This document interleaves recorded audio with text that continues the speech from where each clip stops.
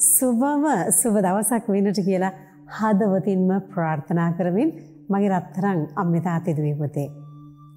අද දවස අපි කෘතඥතාවය දවසක් බවට පත්කරගම්මු.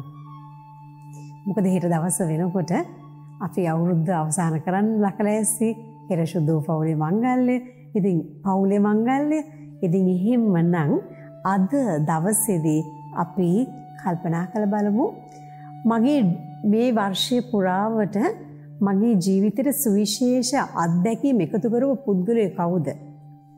ඊටමත් ආදරව ලෙන්ගතුව මගේ ජීවිතයට සමීප වුණ පුද්ගලය කවුද? අන්න ඒ පුද්ගලයන්ට ස්තුතියි කියලා කියන්නට අද දවස අපි දවසක් බවට පත් කරගමු. ඔබට පුළුවන් නම් පුංචි කෝල් එකක් දීලා thank you කියලා කියන්න. ස්තුතියි කියලා කියන්න. මට මේ මෙන්න මෙන්න මේ දේවල් කරාට. ඒ වගේම තමයි ඔබට බැරි නම් කෝල් එකක් ගන්න ඔබේ හදවතින් ඔබේ ආත්මයෙන් නැගෙන ඒ සුබ ප්‍රාර්ථනය ඒ ස්තුතිය ඒ පුද්ගලයන්ට යවන්න ඒගොලන්ට දැනේවි ඔබ ස්තුතිවන්තයි කියලා. ඉතින් මේක හරි ලස්සන දෙයක්.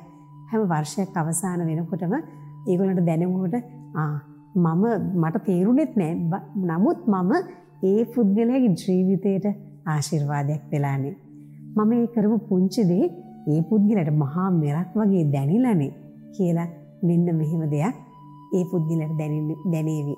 අන්න ඒ පුද්ගලයෝ ඊටත් වඩා ඔබ වෙනුවෙන් යාග වෙන්නට ඔබ වෙනුවෙන් විතරක් නෙමෙයි අනිත් පුද්ගලයන්ගෙනුත් යාග වෙන්නට ඔබේ ඒ ස්තුතිය ඒ හැම කෙනාටම ආශිර්වාදයෙන් බවට පත් වේවි.